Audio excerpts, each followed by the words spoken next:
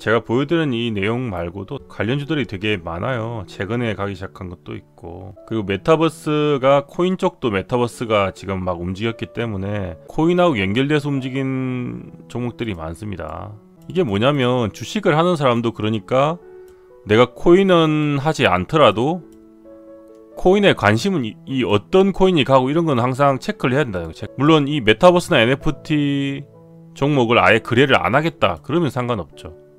근데 요즘엔 이거 아니면 안 갔잖아. 가는 주식이 없었잖아요. 메타버스나 NFT를 내가 거래 안 하겠다. 그러면 상관없는데 내가 메타버스를 NFT로 먹겠다. 이거로 내가 수익을 내겠다 생각했으면 당연히 코인하고 연결이 되어 있는 이슈 테마인데 지금 특히 NFT 같은 경우는 코인에 대한 정보나 그런 걸 뉴스를 알아야죠. 뉴스를 관심을 가져야지. 그냥 뭐 아무 신경도 안 쓰고 주식만 보고 메타버스를 제대로 먹겠다. 물론 먹을 수도 있지만 그거는 초반에는 산 사람이고. 근데 계속 새로운 이슈들이 나오잖아요.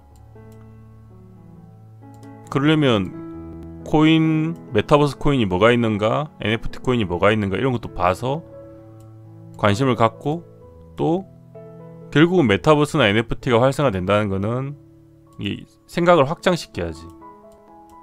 뭐 예를 들면 코인에 대한 우리 국내 거래소들 3대 거래소 보면 되죠. 3대 거래소. 4대인데 사실 코빗은 코빗은 사실 거의 전 거의 아웃이라고 봐요. 3대 거래소. 뭐다?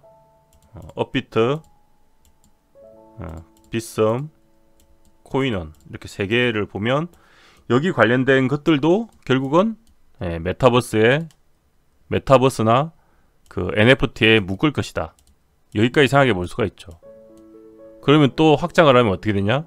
여기 관련된 걸 묶으려면 어떻게 하냐? 여기에 어, 지분이 있는 기업들이 있을 것이다. 이렇게 확장할 수 있죠. 지분이 있는 기업들이 있을 거다. 그럼 기분이 있는 기업들과 관련된 주식을 내가 관심 있게 보고 매수 찬스를 노려봐야 되겠다. 이렇게 생각을 계속 확장할 수가 있잖아요. 근데 아무 찾아보지도 않고 뉴스도 안 하고 관심도 없는 사람이 메타버스로 먹겠다, NFT로 먹겠다, 주식만 어, 그렇게 본다고 쉽게 먹어지는 그런 게 아니잖아요. 이런 기본적인 것도 생각을 안 해보고 찾아보지도 않고 아 내가 이걸 놓쳤네. 아유 배 아파라. 이러고 있으면 사실 욕심쟁이지 그거는. 자기가 노력한 거 1도 없는데 어? 노력 1도 안 하고 이걸 놓쳤네. 아유 배 아파. 이거는 굉장히 놀부심 부지 이거는. 굉장히 욕심 욕심쟁이지 그렇게 해서 먹을 수 있는 만만한 주식장이나 코인장이 아니잖아요. 요즘에 뭐 운으로 먹는 사람도 있지만 대충 해서 1년 사람도 엄청 많단 말이에요. 근데 그렇게 안일하게 갖고 어떻게 먹을 수 있겠어요